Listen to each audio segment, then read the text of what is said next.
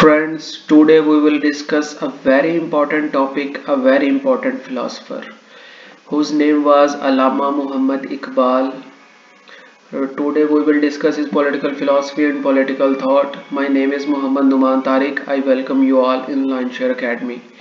तो दोस्तों मोहम्मद इकबाल जो है ये 1877 में पैदा हुए ये रिनाउंड पोइट और फिलोसोफर थे जैसे कि हम जानते हैं कि इनका जो इम्पैक्ट है वो सब कॉन्टिनेंट पे बहुत ही यूज़ है।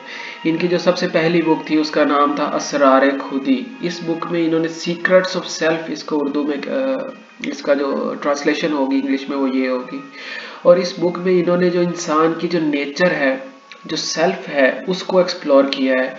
फिर इनकी दूसरी बुक है, ज़रब कलीम। इस बुक के अंदर जो सोशल और पॉलिटिकल इश्यूज़ हैं, जो उस टाइम पे मुसलमानों को जिन चैलेंजेस का सामना था, उनको जो है वो डिस्कस किया है और इस्लामिक रिवाइवल की बात की है।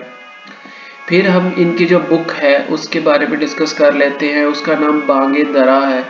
इस बुक के में इन्होंने जो है अपनी जो मोस्ट फ़ेमस वर्क इनका है, सारे जहाँ से अच्छा वो इसी बुक का पार्ट है। और इस बुक के अंदर भी इन्होंने जो है वो आवाज़ दी है मुसलमानों को। उनका जो एक्चुअल गोल है, उसकी तरफ़ लाने की कोशिश की है। फिर इनकी जो book reconstruction of religious thought in Islam है ये आ, मुझे बहुत पर्सनली पसंद है। इस बुक के अंदर इन्होंने जो इस्लाम के प्रिंसिपल्स हैं जो कि हजूर वसल्लम के टाइम पे चल रहे थे उनको सामने रखा है और मॉडर्न जो चैलेंजेस हैं उनको सामने रखा है। और इन दोनों की बेस पे इन्होंने रिकंस्ट्रक्ट की है इस्लामिक फ़िलासफ़ी अगर आपने ये बुक अभी तक नहीं पढ़ी तो ये मस्ट रीड है। I recommend you strongly that please do a read फिर अगली इनकी जो बुक है, उसका नाम है जवेद नामा ये बुक इनका जो है, वो डायलॉग है इनके अपने दरमियान और रोमी के दरमियान। और ये बुक भी जो है, वो ओवरऑल इम्पोर्टेंस रखती है। और पॉलिटिकल थॉट के हिसाब से हमें ये बुक भी डिस्कस करने को मिलती है। फिर इनकी रमूज बेखुदी की बात करें तो इसमें जो इकबाल है, उन्होंने सेल्फलेसनेस का जो है, वो कॉन्सेप्ट लेके आए हैं। जब आप कम्युनिटी को सामने रखते हैं तो आपकी अपनी कोई हैसियत नहीं।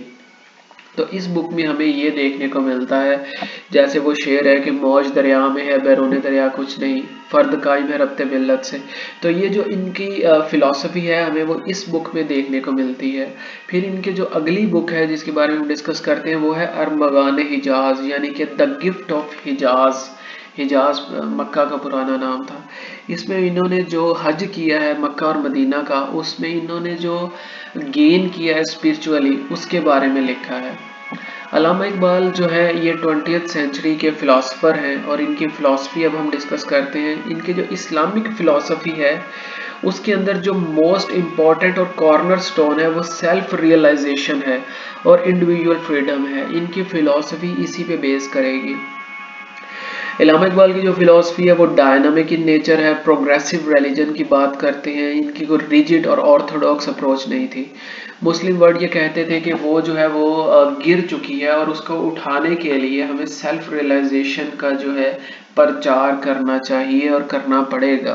और ये कहते थे जो इस्लामिक स्पिरिट है, उसको जगाना पड़ेगा और इंडिविजुअल फ्रीडम और रियलाइजेशन और इंसान का खुदा के साथ ताल्लुक, ये वो चीज़ें हैं जो कि इनकी फ़िलासफ़ी में हमें देखने को मिलती हैं। और ये कहते थे कि जो स्टेट है, उसका बेसिक फ़ंक्शन है कि वो सोशल वेलफेयर को प्रमोट करती है। इकबाल की जो अपनी मुस्लिम वर्ल्ड को लेके अप्रोच थी, वो बहुत ही ज़्यादा प्रोग्रेसिव है।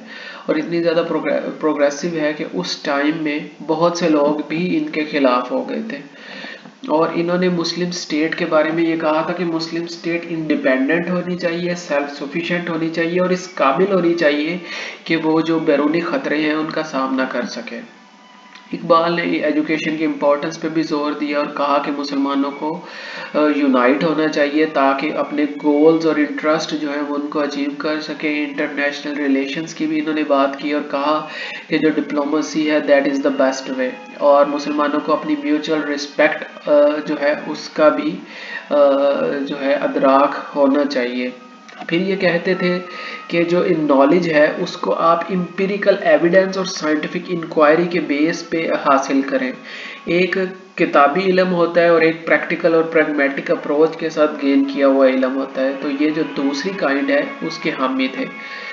फिर जो इकबाल है, उनकी इंडिविजुअल रिस्पॉन्सिबिलिटी कहती है कि इंसान की ये बहुत सी रिस्पॉन्सिबिलिटीज़ हैं जो कि टुवर्ड्स स्टेट टुवर्ड्स कम्युनिटी और टुवर्ड्स योर नेशन होती हैं।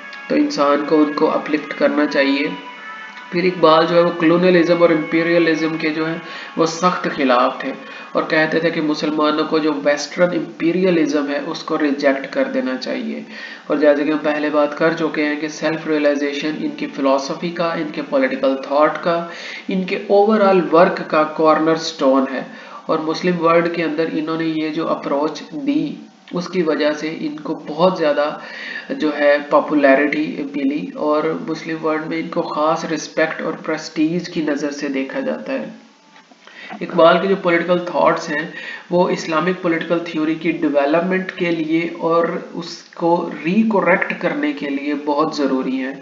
अगर आप अलामा इकबाल के बारे में मज़ीद पढ़ना चाहते हैं तो आप लॉन्चर अकेडमी के ब्लॉग पे जाके इसको मज़ीद डिटेल के साथ पढ़ सकते हैं। ब्लॉग का जो लिंक है, वो आपको डिस्क्रिप्शन में मिल जाएगा। शुक्रिया।